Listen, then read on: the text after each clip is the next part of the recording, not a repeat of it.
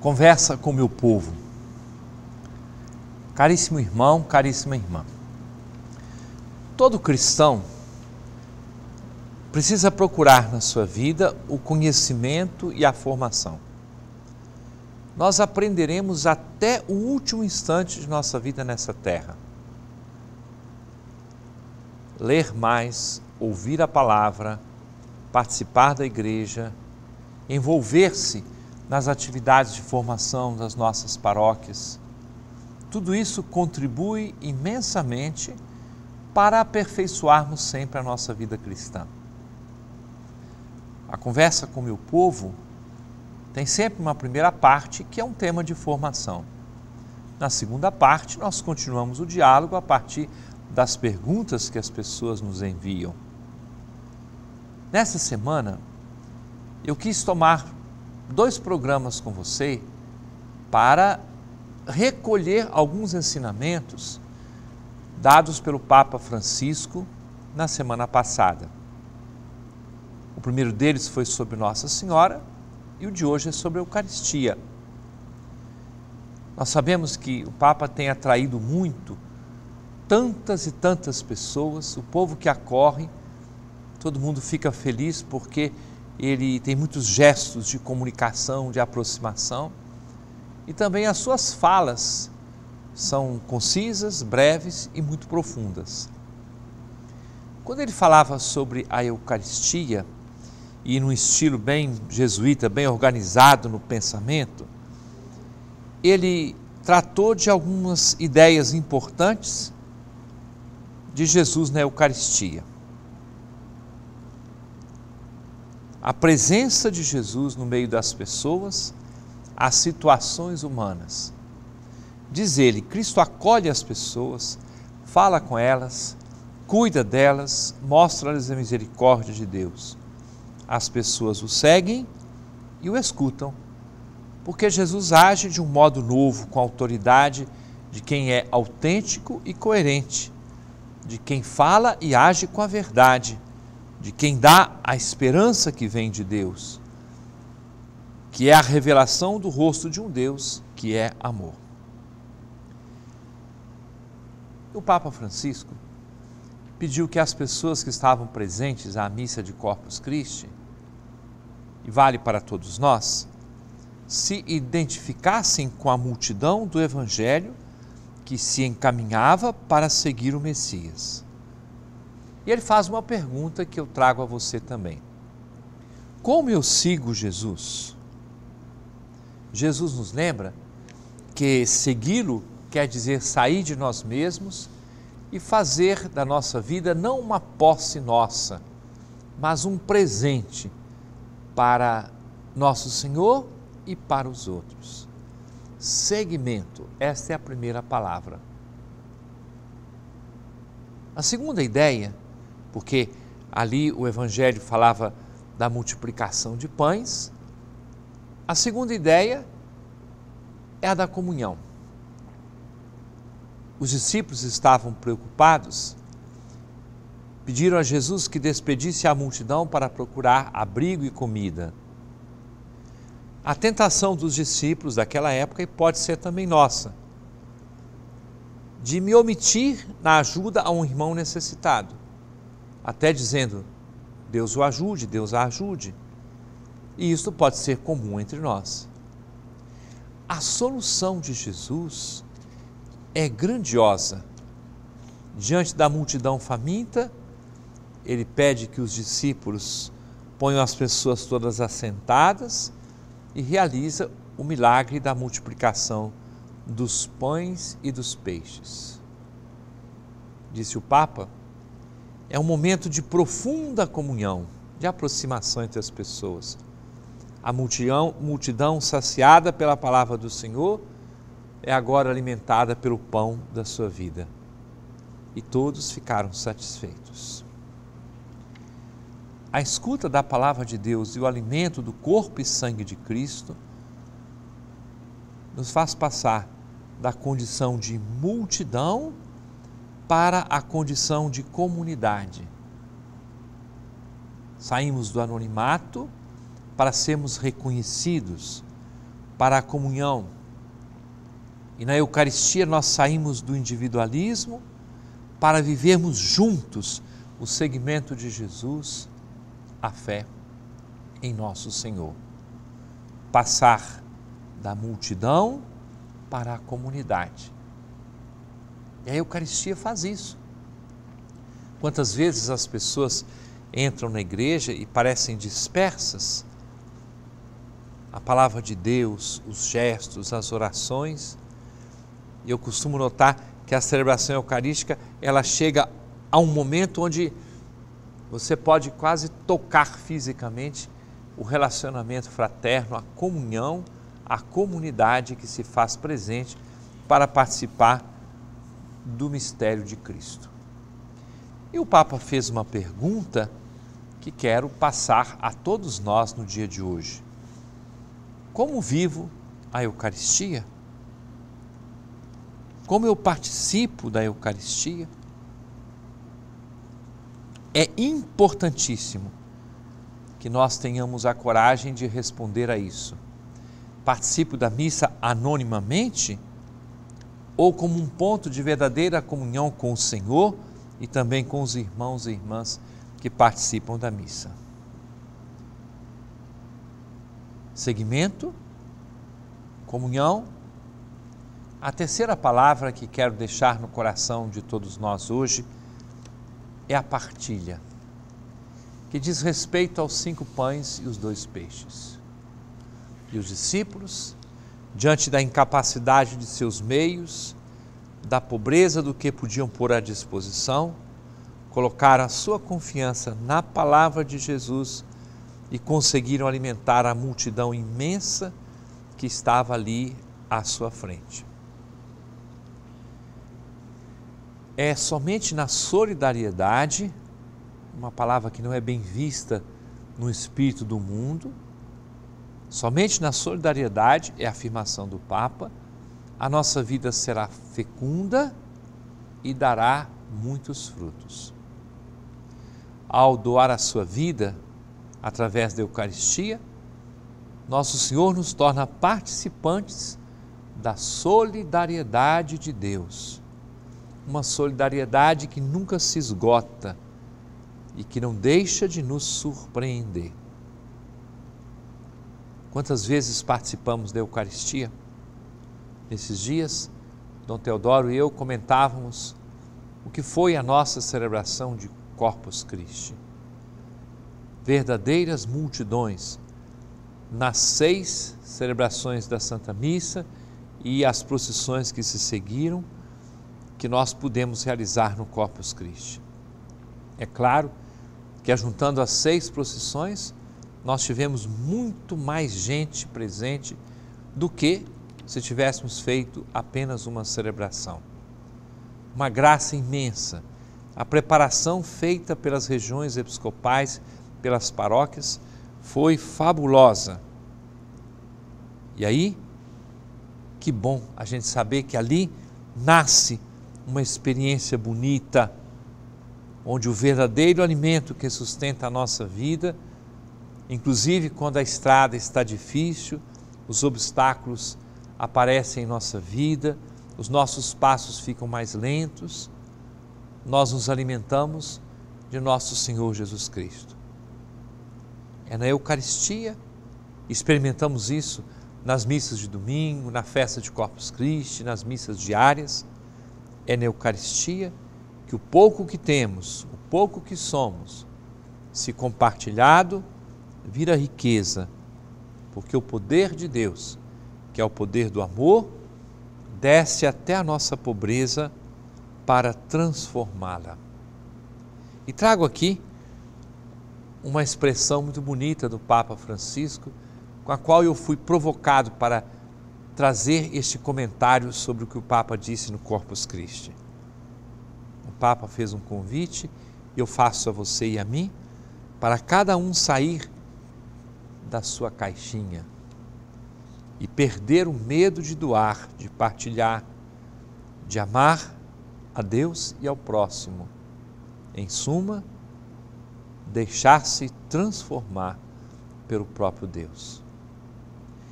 É o convite que a igreja nos faz. Convite à partilha, à responsabilidade, a nos unirmos uns com os outros, para que as outras pessoas que têm outras convicções possam ver que vale a pena ser cristão. Seguimento de Jesus, a comunhão, a partilha. Três palavras que podem entrar dentro do nosso coração e suscitar também transformação em nossa existência. Queremos pedir com confiança que nosso Senhor haja dentro de cada um de nós, converta o nosso interior, converta o nosso jeito de agir, para que assim nós possamos testemunhar nosso Senhor Jesus Cristo, a Sua palavra, o seu Evangelho. Que Deus nos dê essa graça e sejamos fiéis no seguimento de Jesus. Permaneça conosco, daqui a pouco estamos de volta. Como sempre acontece conosco, temos um tema de formação, depois um momento de diálogo e também de anúncio daquilo que acontece na nossa vida de igreja. Amanhã se celebra a solenidade do Sagrado Coração de Jesus. Há uma convocação da igreja a que neste dia, em todos os lugares do mundo, se celebre uma jornada de orações pela santificação dos sacerdotes. Várias paróquias já fizeram ou já anteciparam para o dia de hoje, ou já antecipam para o dia de hoje, por causa da adoração que acontece na quinta-feira, esse tempo de oração para a santificação dos sacerdotes. Outras paróquias realizam amanhã, no dia próprio do Sagrado Coração de Jesus. Nós estaremos juntos e você que está em casa, acolha o convite para vir rezar aqui na capela da Fundação Nazaré de Comunicação e da Cúria Metropolitana durante o dia. Eu celebrarei a Santa Missa aqui, transmitida pelos nossos meios de comunicação. Celebrarei a Santa Missa aqui às sete da manhã, vai ser a primeira das Santas Missas desse dia. Depois, ao meio-dia, Dom Teodoro celebrará a Santa Missa aqui. E no final do dia, nós nos uniremos à celebração da trezena de Santo Antônio, da Paróquia Santo Antônio de Lisboa, que estamos transmitindo todos os dias. Durante o dia, a adoração ao Santíssimo Sacramento, a pregação da Palavra de Deus, temas de formação, tempos fortes e bonitos de oração. Durante todo o dia, amanhã, a partir das sete horas, aqui na Fundação Nazaré de Comunicação. Aí você entende a importância dos nossos meios de comunicação. Nós temos o privilégio de poder multiplicar essas iniciativas que são pedidas pela igreja, multiplicar pelo número de tantas e tantas casas ou outros locais que têm a sua televisão ou rádio ligados na Fundação Nazaré de Comunicação, nos meios de comunicação da nossa Arquidiocese de Belém. Durante esta semana, e aí mando o meu abraço, porque desde a terça-feira eu faço a visita pastoral na paróquia São Geraldo Magela, no Marex. Estou todos esses dias na paróquia e até o domingo, encontrando-me com todas as pastorais, atendendo as pessoas que querem conversar comigo, conversando também com o pároco, com os diversos grupos que existem nessa paróquia. Um grande abraço para a paróquia de São Geraldo Magela. Agora, perguntas que as pessoas nos enviam e que podem ajudar no crescimento da fé. Do bairro Cremação, Jairo Magalhães me pergunta: o que é o dom das línguas? Jairo, na primeira carta de São Paulo aos Coríntios, especialmente o capítulo 12, mas também outros textos do apóstolo São Paulo, ele fala dos vários dons, dos vários carismas distribuídos pelo Espírito Santo.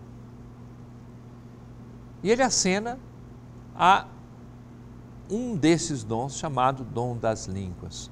O Espírito Santo pode suscitar numa pessoa, no momento de oração de inspiração, de usar outras línguas para falar.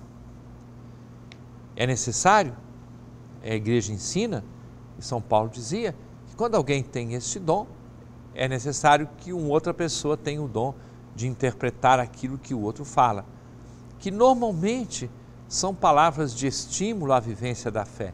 Não se trata de adivinhações, não se trata de, é, de, de previsões de problemas ou de outras coisas no mundo. Trata-se, sim, de estímulo à vivência da fé. Outra coisa é aquilo que se chama a oração em línguas, que eu já expliquei aqui outras vezes. Santo Agostinho chamava de oração de júbilo.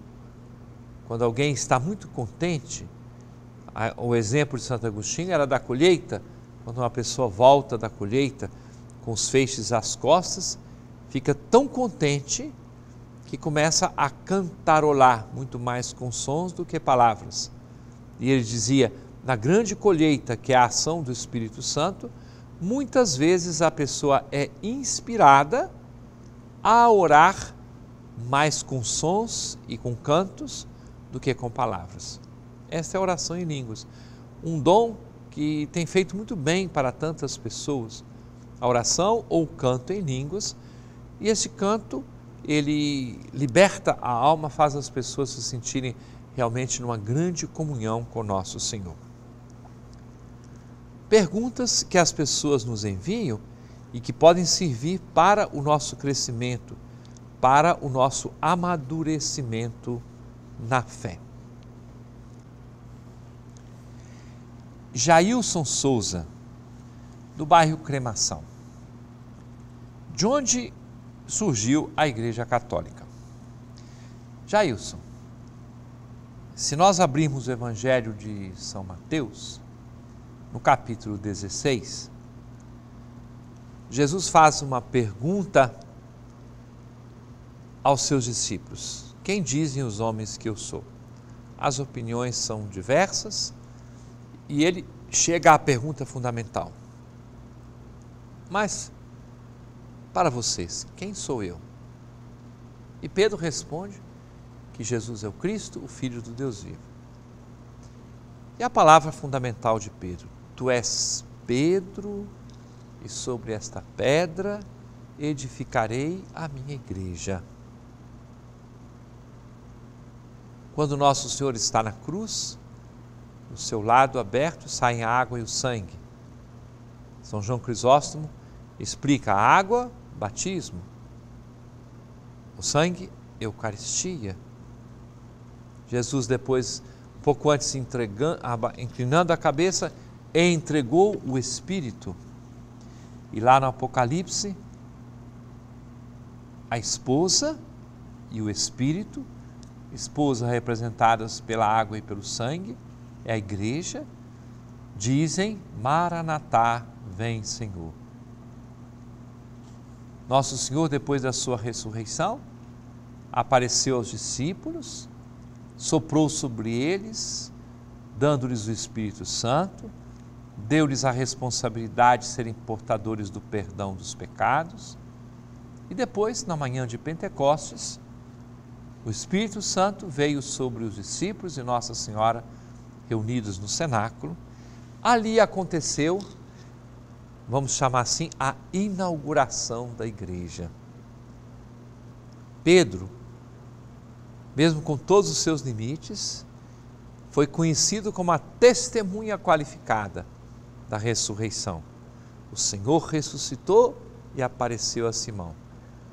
Tanto que para os primeiros cristãos, a prova da ressurreição era um sepulcro vazio e o fato de Jesus ter aparecido a Simão, a Pedro. São Paulo, depois da sua conversão, depois de certo tempo, ele vai a Jerusalém, porque ele queria saber com Pedro, Tiago e João se ele não tinha corrido em vão. Ora, a partir dos apóstolos, os sucessores de Pedro são os papas de uma geração a outra. Os sucessores dos apóstolos são os bispos.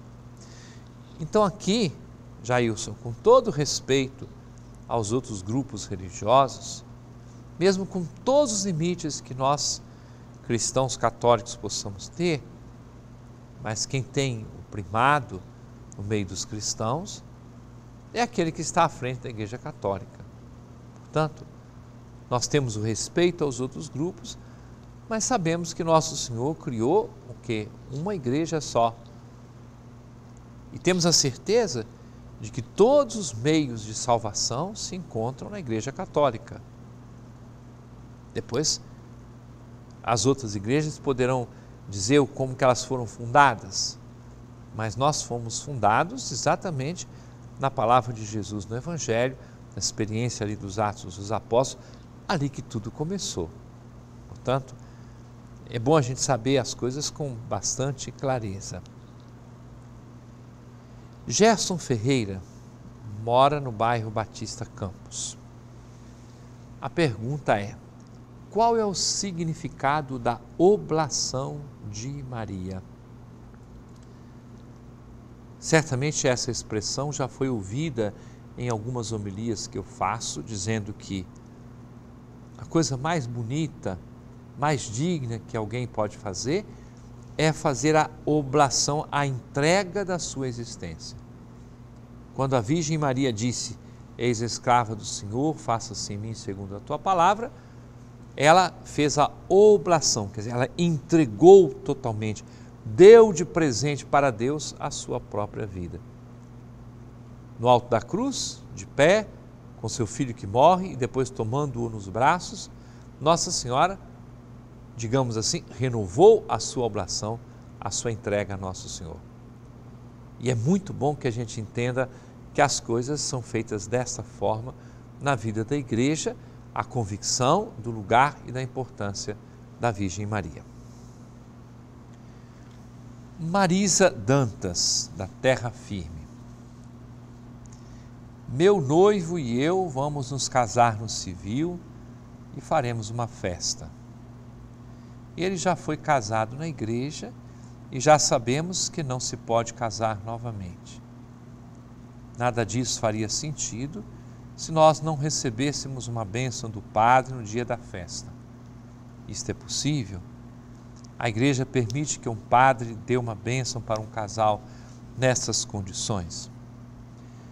Marisa, eu tenho que responder-lhe com muita clareza, com delicadeza, mas na verdade.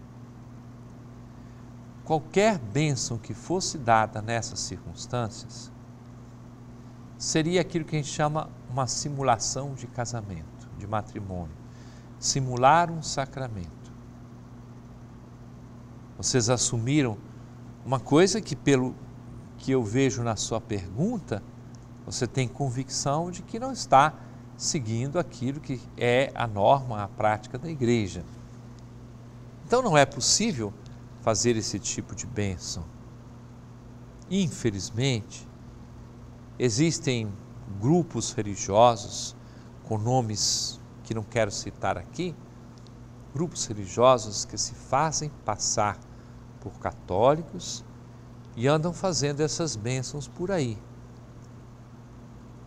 Se vocês tomaram uma decisão, eu tenho que dizer claramente, não pode virar um sacramento. Se o casamento que ele teve foi válido, depois vai haver uma outra pergunta que se segue e que pode ajudar também em alguns outros aspectos.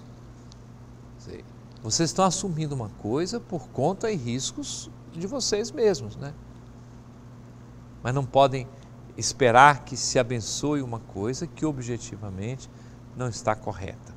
Respondo com delicadeza, como disse, mas também tenho o dever de, de falar as coisas é, na verdade. Acho que ajudo mais do que se eu quisesse pintar de cor de rosa as coisas que não podem ser pintadas. Graciete Farias, do Jurunas. Uma pergunta que ajuda também a, a completar a reflexão da pergunta anterior. Estou separada há três anos. Quando me casei, eu tinha 16 anos e estava grávida. Fui obrigada a me casar. Quero saber como faço para pedir a nulidade do meu casamento. digo a Graciete, digo a outras pessoas, algo que já expliquei, mas nunca é demais explicar direitinho essas coisas. Existem casamentos nos quais aconteceu a cerimônia, mas faltava uma condição básica para que houvesse a validade daquela celebração. Pedir a nulidade. Não existe anulação de um casamento válido. Pode-se constatar que uma pessoa realizou aquela cerimônia, mas não tinha, as, não tinha as condições, por exemplo, a liberdade. Fui obrigada a me casar, como a Graciete disse. Quando a, a pergunta que foi feita pela Marisa Dantas, precisa ver a circunstância do casamento dessa pessoa com a qual você vai se unir. Então, pode acontecer, e para isso existe um tribunal eclesiástico da arquidiocese que a pessoa pode procurar, converse com seu pároco e o pároco vai encaminhar para o tribunal. Aí o tribunal vai verificar se houve condições para a validade daquele casamento. Caso se confirme que o casamento não valeu, então não foi anulado um casamento, foi reconhecido que aquele casamento não teve efetiva validade, então a pessoa não se casou. Por isso ela pode depois receber o sacramento do matrimônio. Desça sobre todos a bênção de Deus Todo-Poderoso, Pai, Filho e Espírito Santo, e permaneça para sempre. Amém.